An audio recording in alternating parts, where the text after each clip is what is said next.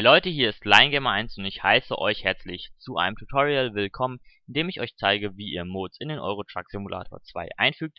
Als erstes müsst ihr euch natürlich einen Mod aus dem Internet herunterladen.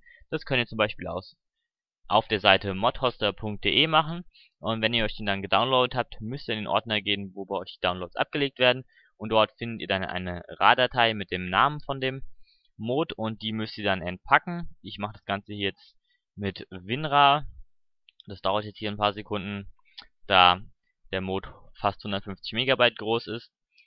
Und dann ja, ist aber auch schnell abgeschlossen. So, und dann haben wir hier einen Ordner. Den öffnen wir und da finden wir eine SCS-Datei. Die müssen wir kopieren und dann unter Dokumente Euro Truck Simulator 2 Mode einfügen. So, dann wird sie da rein kopiert. So, dann ist der Mod auch jetzt schon im Spiel drin. Ihr müsst den aber noch aktivieren und dazu starten wir jetzt mal das Spiel. So, das hier kann man dann alles überspringen. Dann müsst ihr hier das Profil auswählen, bei dem ihr den Mod verwenden wollt. Dann geht ihr auf Bearbeiten und dann unter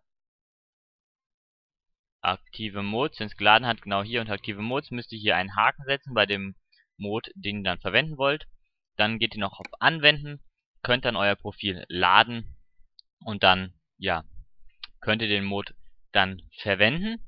Also nochmal kurz zusammengefasst, erst müsst ihr euch den Mod downloaden, dann in den Ordner gehen, wo der Mod hingedownloadet wurde und dort den dort die RAR-Datei dann entpacken, dann die SCS-Datei, die ihr dann findet, in den über Eigendokumente Eurotruck Simulator 2 Mode, also in den Ordner Mode einfügen und dann nochmal das Spiel starten, auf das Profil gehen, indem ihr den Mode verwenden wollt und dort unter aktive Modes einen Haken setzen bei dem Mode, das ihr verwenden wollt und dann anwenden drücken und dann könnt ihr euer Profil laden und das Mode verwenden. Ja, das war's auch schon von dem Tutorial. Ich hoffe, wieso hoffe?